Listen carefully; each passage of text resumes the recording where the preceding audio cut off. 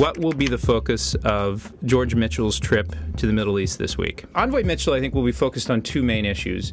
One, uh, the continued discussion over a settlement freeze, uh, a discussion that Israel and the United States has been having for the last couple of weeks over whether Israel will actually, in fact, freeze construction um, and the growth of settlements in the occupied territories. A second issue I think that they've been conducting quiet diplomacy on is the question of movement and access for uh, Palestinians. There are uh, about 600 internal checkpoints in the West Bank which actually impede economic development and commerce. And the Mitchell team has been actually quietly pressing uh, the Israelis to move forward on opening up some of these um, uh, blockades to help the Palestinian economy grow a bit. I think they'll also discuss, uh, discuss in addition to those two issues, uh, the settlements and movement and access in the West Bank.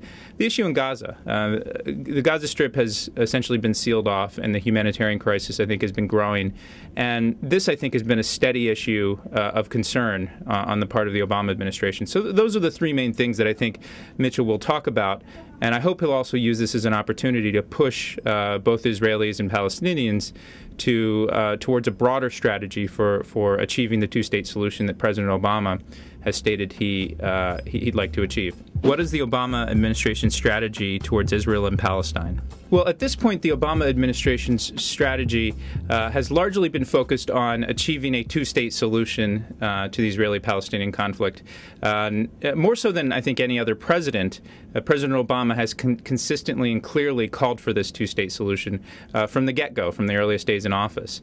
Uh, now, the question is what's his strategy? I don't think he has a clear and well defined strategy just yet. He has a series series of tactics and important initiatives that are aimed at boosting the Palestinian economy, trying to train up the security forces of the Palestinian Authority, uh, trying to bridge some divides between Israelis and Palestinians. But as yet, uh, we don't have um, a clearly defined strategy, in large part because, as President Obama says, it's tied to broader dynamics in the region. So the strategy, I think, five months into this new administration, still is is a work in progress. I think they've taken some steps in the right direction, but I think it's it's time for for some more uh, audacious and bold moves on the part of uh, President Obama.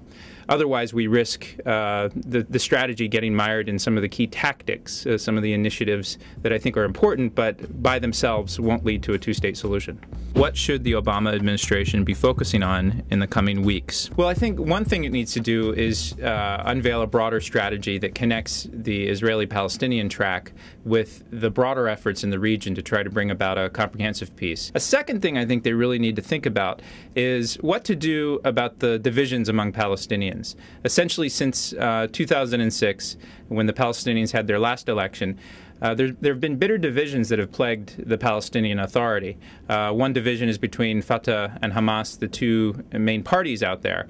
And essentially, um, there's no agreement on who is the legitimate leader uh, of the Palestinian Authority. And this is a ma- major challenge. To get to a two state solution, to get to a sustainable peace agreement, you need some sort of entity on the Palestinian side that is endowed with the you know, with the respect and has authority from its own people, and you don't have that right now.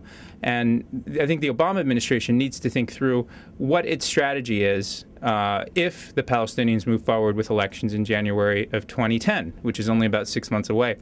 Will we support those elections? Will these elections, uh, if Hamas wins these elections, will we uh, support the results of those elections? Th- these are difficult questions that go well beyond the economic development in- initiatives, the support for the security services in the Palestinian Authority. And I think we need a clear answer to those questions. Uh, it's a key question that needs to be answered to get to that two state solution.